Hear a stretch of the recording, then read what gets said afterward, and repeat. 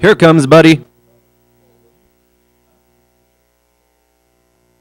And they're off in the 41st race. And at the break, it is 4 2 and 1 for the leader here early on. Hurricane Harvey.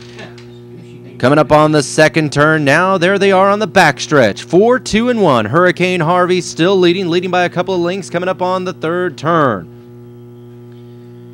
Here he comes for a final time and a final turn. Down the stretch he comes, Hurricane Harvey. Roaring to the finish line, your winner, Hurricane Harvey.